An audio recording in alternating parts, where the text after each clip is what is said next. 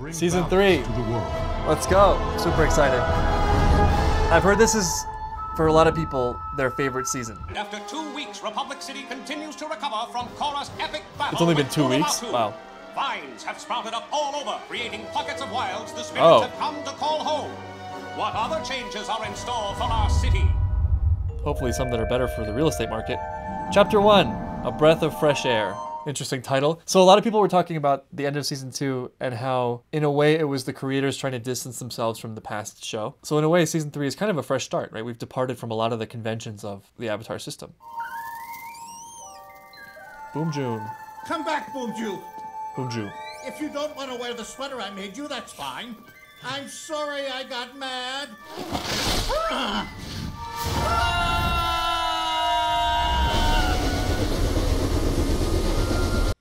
airbend? I'm airbending. Ah! Wow, that still hurt a lot. Wait, is that an innate ability, or did somehow harmonic convergence create a shift in people's abilities? That would certainly shake things up if people could bend now. Jinora has just graduated to like the upper echelon. How are we ever gonna clear away all these vines? Why do you want to get rid of them? You changed the world. Property developers are really unhappy though. So Korra definitely like opened a Pandora's box. Naturally, a lot of people are going to be very unhappy, and I'm sure Korra, being the sensitive person that she is, is going to take that pressure right on her shoulders. The wilds are their home.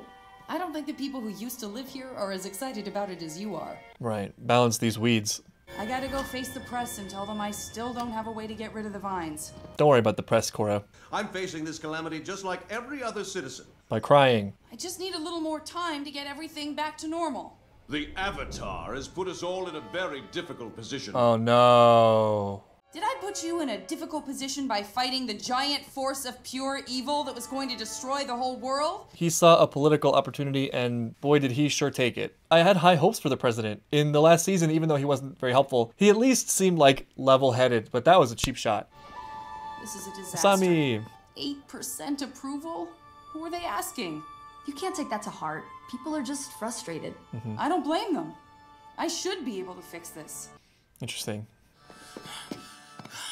I can airbend. You are not going to believe what just happened. Where's your father? Dad! What is it? What's wrong? Bum-Ju and I had a little fight. I made him the sweater and he didn't seem to like it. And I'll admit it might need work, but it was my first attempt at knitting, so I was a little hurt. Good story. Poor Bumi, man. He just the way he sets up his life, no one believes anything he says. I gotta say, I love being a part of this family. You got the grumpy dad, the wacky uncle, the put upon mom, crazy oh. kids. Oh. No, this is great. Ouch. That like put upon mom just cut to the bone.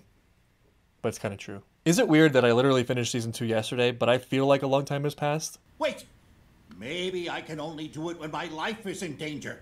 This is not a good way to think. Look alive, Uncle Bumi! Oh, he did it. Was that really life threatening though? What the heck did all this? It was my brother. He's out of control. He was creating this storm like, Like what? well, like he was airbending. Sir, that's impossible. This is definitely going to unbalance things if everyone can suddenly airbend. One, two. You mean there's another one? Where is he now? He blew a door down on me and got away. We'll help you look for him. You should leave it to the police. It's police business, you know. Okay. That was awkward. I should just get going. What's his deal? Is he embarrassed about the terrible love triangle in season two? So, when I was gone, did he tell you that we broke up? Yeah, we all knew. Sorry. That's pretty embarrassing. And everybody was watching. Everybody. The whole town was there. Actually, I need to tell you something about that, and I should have told you this sooner, but Water under the bridge. Let's move on. It's like a dream, Dad. After 170 years, new airbenders. It's great that he takes that so well. I think a lesser person would feel threatened by that. That shows his heart is really in the right place. When a new guy gets airbending, does that make him our brother? Well, in a way, all airbenders are our family. Does that mean I have to share my room because I like my personal space? Of course not. I hope we have enough for an army. commander like Uncle Bumi. Cool. They're all taking this so well. Maybe there will be enough to fill the temples again. What's Aw. wrong, Daddy? I just wish your grandfather were here to see this. Will you be Airbender president? No. It's cute. But I think the new airbenders will need lots of help and guidance. Don't worry, Dad. We'll help you. I know you will. What a beautiful scene. What great kids. And great Tenzin. what is going on though with the airbending? My suspicious nature is arising again. I want Tenzin's joy to be justified. This is the season premiere, so there's gonna be a villain set up, right? Is it connected? What's the conflict gonna be? What are you guys doing here? I was alerted that you had a new plan to wipe out these noxious weeds, so I thought you'd want everyone to be here to watch. Yeah, they're definitely reworking the president character a little bit. There was nothing in the past to suggest that he was like this, but I think that they need political pressure. He's a vehicle for that. How did you know what to do? Will you send the spirits away now? How soon can we expect public water service to resume? No, Timmy. I feel like his name is Timmy. Oh, she has the. That's so cool. Did she have that before? I can't remember. That's new, right? I got you, Timmy.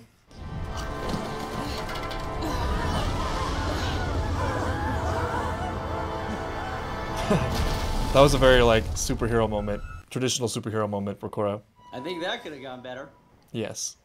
Thanks, Bolin. You must be at the end of your rope. You hate meditating. I thought that if I really tried, I might be able to contact my past avatars. Hmm. Someone who knows something to help me. Oh, that's I interesting. can't. They're gone, and I'm all alone.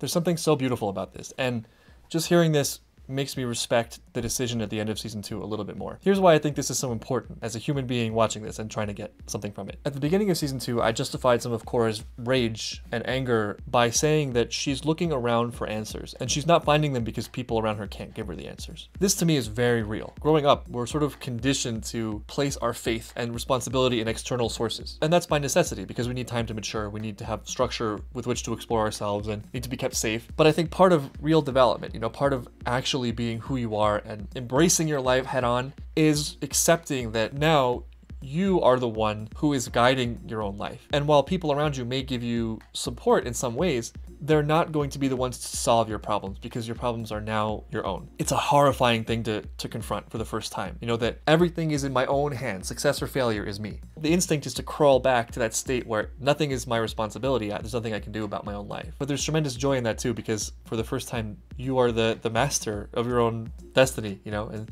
so it's equal parts exhilarating and terrifying and frustrating and amazing. Korra is kind of confronting this right now. She's always had a lot to lean on. So I'm guessing part of her development this season will be learning to be more autonomous, more confident in her own choices and her own ability and shouldering that burden, you know, really shouldering it and looking at it head on in the face and, you know, being the hero everyone wants her to be. Did I ruin everything by leaving the spirit portals open?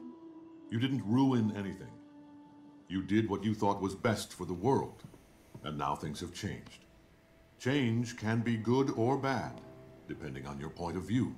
Yeah. Part of that shouldering responsibility is that you're gonna fuck up. That's just part of it, and you have to be okay with that. There's no other way. It's better just to fuck up and fuck up epically and embrace that and move on than it is to just curl up in a ball and pretend that life is something that's not worth anything to you. I know the people's point of view. It's bad. You're not the president, Korra. Your job isn't to fix the daily problems of every person in Republic City. Mm. No matter what you do, some people are not going to be happy about it. Right. What you did during harmonic convergence may have brought back the Air Nation. And that can only be good for restoring balance. This is the Tenzin that we've been looking for. Strong teacher Tenzin. I love it. A very intelligent person I know said to me recently, some people just aren't going to like you. And that's just true. Some people aren't going to like you. Nothing you can do about that fact, so may as well just accept it. And I think that's why it's so important to follow your own values, because given the fact that not everyone will like you, the priority should be to like yourself. That is the act of a great avatar. It's scary. Yeah, it I have scary. all this power and all these people depending on me, but I don't know what I'm supposed to be doing half the time. It seems like I should be wiser. True wisdom begins when we accept things as they are. Okay, Iroh. Who is this guy? Is this Tenzin? Man, what a that scene alone. This video is to be 40 40 years long. So I think the feeling Korra's having about not knowing what she's supposed to be doing, feeling a little bit incapable, I think that's a healthy sign. I think it just means that she's putting herself in, in a position to grow. If you're not feeling that way about something, then maybe there are more challenges that you can take on. You know, I think it's important to stay balanced and not be excessive and feel like you have to take the whole world on at once. But there's something good about that. You know, there's something good about being in a in a situation that's a little bit outside of your comfort because like you will surprise yourself, like you will fill in that gap. I also like what Tenzin said about how true wisdom begins when we accept things how they are. That was Tenzin's big realization. He was lying to himself about who he was. You can only build so much on flawed beliefs, flawed assumptions of the world. I think one of the biggest components of growth as an individual is trying to put down your desires for what you want things to be and just seeing them as they are. That gives you such a better framework for action. That was one of the most packed scenes I've ever seen. Mako called. The cops found the new airbender guy, but when they tried to bring him in, he ran away and climbed to the top of Kyoshi Bridge and he won't come down. Ooh, sorry. Did I interrupt an Avatar wisdom session? Yes, you did, a major one, but Avatar we got a lot out of it thing anyway. the past, Bolin. Come on. Oh, okay. Is that a good thing? Depends who you ask. Funny. I don't know what I'm doing and I don't want to hurt anyone! Tell me about it. Rough day, huh?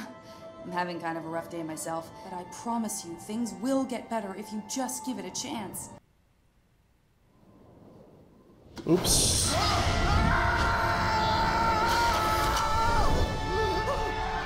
Very superhero episode for Korra. I've never met a new airbender before. Well, at least not one whose diaper I didn't have to change. Actually, Give I him just time. fell off a bridge, so I Right. could use a fresh diaper right about now. We have a crisis every other day now, thanks to you. I order you to leave this city. You've caused nothing but trouble since you arrived. Um, is that the best move? There are new airbenders out there, and I'm gonna find them and rebuild the Air Nation. Don't think I'm not going with you. Who knows who's out there right now, discovering the gift of airbending for the first time. There's gonna be a catch. There's something not right about this.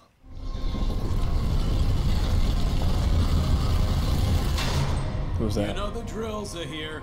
Who's it of course. Guru Laghima lived 4,000 years ago in the Northern Air Temple. It is said that he unlocked the secret of weightlessness, living his final 40 years without ever touching the ground. Is that how you plan to escape? With something you picked up from an old airbender children's story? Like all great children's tales, it contains truth within the myth. Hmm, I like this guy. That's my whole thing. Instinct is a lie, told by a fearful body, hoping to be wrong. What's that supposed to mean? I'm gonna like this season.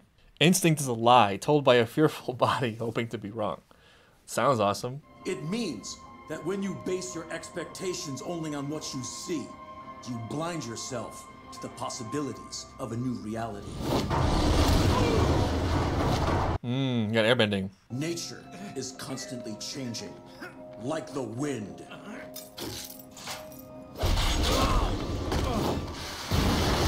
Oh.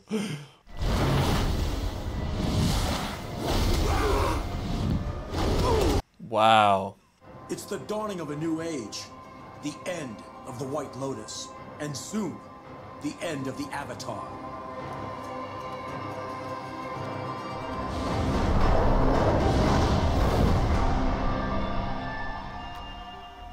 Whoa. I asked for a villain, I got one. That was incredible. What a season opener. Ooh, I got chills. I'm gonna like Zaheer. He's my kind of guy, I think. Wow. First impressions of him, incredible conviction, which is what I like to see in villains. Obviously well educated, really educated in a way that's meaningful to him. His voice acting is cool too, so far. I'm very excited to see where this season goes. But that's gonna be all for this episode. Thanks so much for watching, and I'll see you all next time.